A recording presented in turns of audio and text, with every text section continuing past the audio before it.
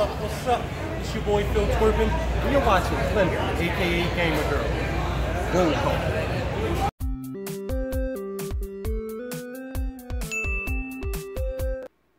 In a world, there is one game. The game above all games.